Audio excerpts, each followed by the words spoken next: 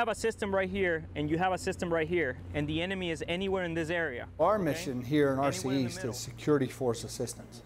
So we do train, advise, assist the Afghan security forces. And that involves advising them and training them and assisting them on the battlefield when they need it more than our own combat operations. With that mission in mind, where's the primary emphasis? It's evolved to be more training and advising than assisting. So we assist by exception. The Afghans don't need that much assistance. The Afghans are actually leading this fight and they don't need that much help on the battlefield. So we do more training and advising, which are things that happen before they leave the, the gate to the base. But you still have troops out in kinetic areas. That's true. So, uh, for the most part, uh, probably 94% of all operations are Afghan led, and of that, more than 80% are uh, Afghan unilateral. There are no coalition forces out there with them. So, we're out there probably only about 10 to 15% of the time, and we're behind them. We're in an assistance role. And the small percentage, the five or six percent that are left over, are our own self-defense operations, our own retrograde, our own con- resupply convoys. That's about five percent of all the operations we're doing. This is still a dangerous place. You, you've lost troops here. Well, yes, we've lost uh, three soldiers from the 10th Mountain Division on this deployment, and uh, three Special Forces soldiers. It is a dangerous environment. It's a war, and so even on that small five percent where we're protecting our own bases, and in that small 10 to 15 percent where we're assisting them on operations, we've sustained some losses. I've talked to a number of commanders that have been in your position in previous times, and they've all told me that the war for Afghanistan is going to be fought and won here in RC East. What's your take? The main part of our effort here in Afghanistan started in the east in 2001, 2002, after we came down from the north and, and uh, freed Afghanistan. The fight has been in the east ever since. Uh, I believe that is true. I think this most, the greatest threats to Afghanistan's future come from the east, from the safe havens in Pakistan and to Kabul, the Haqqani network. Uh, the small element of, Tal- of Al Qaeda that remains in Afghanistan is here in the east. So I, I believe those commanders who you've talked to before are right. Uh, it started here, it will end here in the east. So, are the threats that you have here in RC East primarily Taliban, or is it the Haqqani network? It's a mix, uh, but predominantly Taliban, but we have the most uh, lethal strain of Taliban, which is the Haqqani network. Uh, so they're part of the Taliban larger network, uh, but they operate from uh, North Waziristan uh, and to the north of that and to the south of that a little bit, all the way towards Kabul. When you see a high profile attack in Kabul or anywhere in between Pakistan and Kabul, it's probably the Haqqani network. You also have previous experience working in Pakistan, which has always been uh, a bit of a factor here in Afghanistan. Will they be a challenge to total Afghanistan success in the years ahead? I think uh, the problem with Pakistan is they're allowing safe haven for the insurgency that's affecting Afghanistan. And uh, they really don't have good governmental control of the tribal areas in the west. And so there are insurgent networks that have safe haven there, and those networks operate into um, Afghanistan from there, and they have freedom of action from there, and that's that's the real threat. So whether that's by you know plan or design, or whether that's just they can't control it, I don't really know. I just know that it's a fact of life. On a personal note, I've learned that you have Afghan heritage. That's right. Have you ever brought this to the table? Do the Afghans know that uh, you have Afghan blood? Does it help? Um, I, I don't really bring it to the table. In fact, I, I, uh, I don't really bring it up. Some of them know about my heritage. I'm half Afghan. Um, I was raised by, I was adopted in Europe and raised by an American military couple as an Army brat. Uh, so I didn't really even know that I was Afghan until I was about 30 years old. Um, so there are some Afghan leaders here in the military and the government who know uh, that I'm half Afghan, and it's kind of like our little private uh, joke or secret between us. I don't really try to use it to my advantage, and it doesn't really come up that often. That is absolutely fascinating. There, there are a few of the uh, senior Afghan leaders who will call me cousin, who will call me nephew, and some of the other Afghans kind of have a quizzical look on their face, and I don't know what they talk about when I'm not there, but uh, it comes up every now and then. Sir, you've been here a number of times. You've had a lot of experiences in Afghanistan. You've seen changes. How would you describe some of those changes? So this is my fourth uh, tour in Afghanistan since this war began. When I got here in 2002, no kids were in school. There was no army. Uh, there was no police force to speak of. We operated with warlord militia forces. I came back in 2003 and 4 with the 10th Mountain Division again. We uh, stood up the first, very first Kandaks of the Afghan army. I came back in 2010 and 11 with the 101st. And uh, that was during our surge. And uh, there were a lot of Afghan forces, but there were a lot of coalition forces here, a lot of American forces here. We were leading combat operations and we were bringing the Afghans with us. Since I returned three months ago, the change is amazing. Not just from 2002, but from 2011 when I left. 94% uh, of the operations were American led in 2010 and 11, and today it's 94% are Afghan led. There are 350,000 Afghan security forces. There are two complete Afghan Army corps in, in RC East, almost 82,000 Afghan security forces in RC East. So we've recently had presidential elections. What was the impact here? I think they went incredibly well. I think they went better actually than almost anybody hoped they would.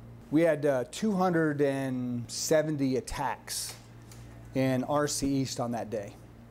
I was here for the last parliamentary elections in 2010 and we had 380 attacks. So we had 110 fewer attacks this time, and you might think, well, is that really progress? Well, yeah, it is, and here's why. The Afghans handled it all by themselves. It's common knowledge that good security brings stability, stability generates a stronger economy. Are you seeing that here? I know Jalalabad has always been strong, but are you seeing it elsewhere in RC East? Well, certainly. You know, uh, there are some people who say that the economy here is actually fueled by the war, and that's probably true to some extent. Uh, but there is there is undeniable economic uh, progress and growth here in Afghanistan. Uh, you mentioned Jalalabad. Jalalabad is a thriving, bustling city, one of the most active markets or bazaars uh, that I've seen anywhere in this country. Kabul uh, you could fly over Kabul in 2002 and count the lights. Uh, now you fly over Kabul and it looks like a western city at night. It's so lit up. Uh, Khost city, uh, Ghazni city. Ghazni city for the last year was named by the Islamic world as the center of Islamic culture for 2013. They had a number of festivals and events throughout the year. And in February, at the end of February, they had a closing ceremony. Uh, that was attended by thousands of people, uh, people who came from around the world to attend this ceremony, and it was secured entirely by the Afghans. And there were no security incidents in Ghazni uh, in the end of February. So that's an example of, I think, uh, the, the Afghans' ability to secure themselves and the economic progress you see here. So, with all of this progress and this good news, where's the challenge? There's still plenty of challenge, right? So, the first part of the challenge, I think, is there is an enemy out there who wants to actively undo it. There's a cunning, determined, implacable enemy out there that wants to undo all this progress. So that's the first challenge, and the Afghan security forces are the first line of defense for that. They have to solve that problem for the people of Afghanistan. I think the second challenge is is all this sustainable? We've put a lot of effort into it. It's taken a lot of work by the coalition. Uh, it's taken a lot of funding by the coalition, so we've got to keep some of that up. I think we've got to keep a helping hand here with the Afghans to help them get this where it's sustainable. So, if you would project out for me five years from now, what do you think we should expect to see in this part of Afghanistan? Okay. Uh, so I'm a military man, and I don't like to make predictions five years in, in, into the future uh, because part of my brain always th thinks about the worst possible outcome but I'm also an optimist. Here's what I believe I believe that if we have a successful runoff election, if we get a bilateral security agreement between the people of Afghanistan, the government of Afghanistan, and the Western world, Uh, if the West coalition leaves a advisor force here to continue to train, advise, and assist the Afghans, and if the world continues its uh, commitments to fund this effort, uh, I predict this country will be better off one year, five years from now than it is now. Sir, you're a commander. Talk to me a little bit about your military force here. Yeah, I'd just like to uh, remind the people of the, the coalition and specifically the Americans back home that uh, their sons and daughters are over here involved in this fight and doing the United, the work of the United States, the work of NATO, the work of the international coalition. And uh, the peoples of our countries ought not to forget that their soldiers are over here uh, doing their bidding here in, this, in Afghanistan. Do you have a sense that they have forgotten? Well, we lost a soldier uh, a couple of weeks ago, and I was reading about it uh, on Facebook, and I saw a comment uh, written in by someone who said they were, they were surprised. Uh, I thought we were out of there. That's what the comment said. Uh, we're drawing down according to the plan approved by the United States, the plan approved by NATO, uh, but we're still here, and the American people ought to be aware of that. I'm curious. We've had 12 years of war. You've been here for a good portion of it. What do you think is going to be the lasting impact on us as a society? On American society, you know, I hear people say that the American public is war weary. Uh, pro probably no one has more of a right to be war weary than the American Armed Forces. I think the American Armed Forces are willing and prepared to do whatever the nation needs done. Whether this war, where we can, whether we continue here in Afghanistan or things need doing elsewhere in the world, uh, America's armed forces are ready for that. Um, I think probably we'll be a little hesitant to get involved in ground combat uh, in the future, maybe rightfully so. Uh, but I also think this we're the United States of America, and uh, I don't remember who said it, maybe it was Churchill, but said that uh, you may not be very interested in war, but war is certainly interested in you. And when you're the United States of America, things find us. Sometimes we just have to do things in the world. America's armed forces have to be ready for that.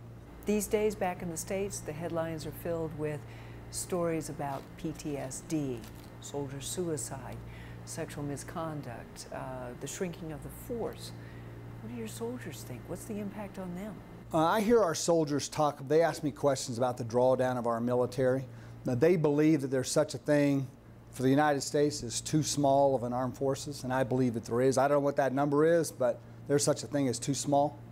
I've been reading some of this about PTSD and and these kind of things. Uh, there, there's I've read recently uh, comments by two Marines that I know and admire, uh, General Mattis and General Kelly. Uh, both of them have recently talked about this uh, phenomenon where uh, some in our society are trying to make out that our service members, particularly our soldiers and Marines who've seen ground combat, are somehow victims or, you know, ticking time bombs. I don't buy any of that. There are soldiers who are casualties of this war, physical casualties. There are soldiers who are emotional casualties, mental casualties, spiritual casualties of this war. But those numbers are pretty small uh, and my, relatively speaking, and my experience is that most soldiers come through their combat experience stronger. They emerge stronger down the road, and I think they'll be stronger Americans whether they stay in the military or whether they return to a civilian society. I expect that most of our veterans will become leaders in uniform and out of uniform. I believe in this thing in a, in a growth experience and uh, I think by and large, most of our service members will emerge from their combat experience stronger.